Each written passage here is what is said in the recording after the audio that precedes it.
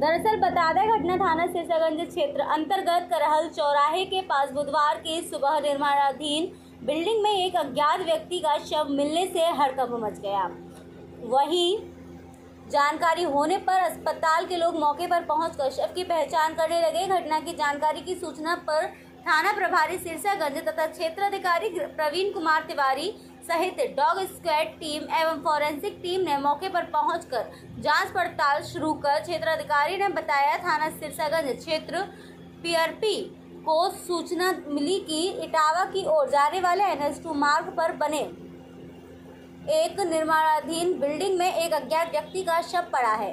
वहीं व्यक्ति की उम्र लगभग 35 वर्ष बताई जा रही है, जहाँ व्यक्ति के शव की पहचान नहीं हो सकी। वहीं मृतक बॉडी के शव को पुलिस ने पोस्टमार्टम हेतु भेजकर अग्रिम विधिक कार्यवाही कर मृतक के शव को पहचान कराने के प्रयास किए जा रहे हैं।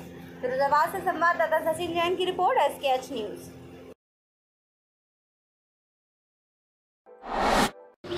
यहाँ पे एक अपने ग्राम रुदावली पर एन एस टू पर, बाईपास पर एक करैल चौरा के पास में निर्माणाधीन बिल्डिंग है। तो सुबह सूत्रों से पता लगा था कि यहाँ पे एक शव पड़ा हुआ है। जिसकी पुलिस को खबर की गई थी। पुलिस ने मौके पर आई, वो छानबीन की, जानकारी भी ली कि शायद कोई परिचित इसका मिल जाए तो कोई नहीं मिला। फिर उसके बाद अज्ञात सबको पुलिस अपने साथ पोस्टमार्टम के लिए लेके चली गई। इसे ये सुबह छः साढ़े छः बजे हमें पता लगा था, लेकिन बॉडी को देख के लग रहा था ये शाम के नौ, दस बजे की बात होगी।